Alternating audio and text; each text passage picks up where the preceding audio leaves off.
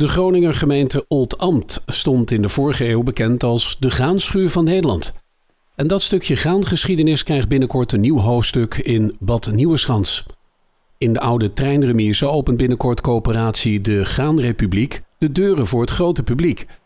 De Graanrepubliek is een coöperatie uh, waarvan eigenlijk het grootste doel is om uh, smaakvolle graanrassen te telen en daar hele prachtige producten van te maken. Met als doel om uh, ja, de graanteelt eigenlijk ook weer echt nieuw elan te geven.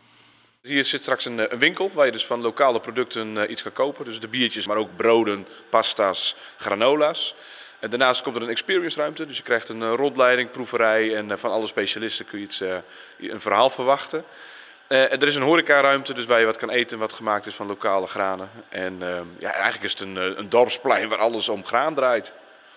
Uh, ja, wat we nu op dit moment doen met verschillende telers, zijn al zeven telers zijn aangesloten bij de coöperatie De Graanrepubliek. En dat gaat eigenlijk vooral van, van de normale gerstrassen die je, die je kent tot naar bijvoorbeeld 18 verschillende soorten met wat oudere graanrassen. Die telen niet omdat ze oud zijn, maar omdat ze vooral heel erg smaakvol zijn. Een van de rassen waar we vorig jaar mee begonnen zijn, dat is de Bear Barley. En de Bear Barley daar hebben we nu ook dit jaar ook, wat, wat van laten stoken. de stokers zijn hier daarmee aan de slag geweest. Ze zijn echt, echt onder indruk van de, van de rijke smaak van, die, van deze Bear Barley. Die rijke smaak hoopt de coöperatie over ruim drie jaar ook te proeven, als de eerste whisky klaar is. Nou, als je kijkt hier bij de Graanrepubliek hebben we nu ons eigen mout.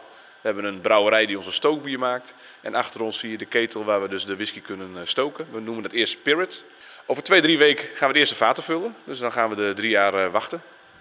Drie jaar wachten betekent niet dat Thijs Dijkstra ook stil zit. Want hij zit vol ideeën over nieuwe producten van het Groningenland. Ja, we brouwen hier ook Groningse biertjes. Uh, we brouwen hier onder andere Eggens, maar straks ook onze Graanrepubliek bier.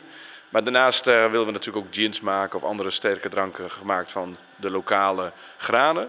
En daarnaast ook van de rustgewassen die van het land komt. Want je kan van gin natuurlijk ook hele mooie smaakvolle drankjes creëren met haver, met klaver in combinatie met bijvoorbeeld mosterdzaad. Gert Noordhof komt regelmatig even een eindproduct van zijn graanteelt proeven. Nou, het is natuurlijk heel erg leuk dat je weet van, uh, ja, dat heeft bij ons op de boerderij gestaan en nu uh, proef je daar een broodje van. Of uh, ja, een whisky is natuurlijk helemaal bijzonder. Nou, dan moet nog even wachten. Dan moet het, je moet drie jaar en één dag wachten, heb ik begrepen. Want anders mag het daarvoor mag het geen whisky heten.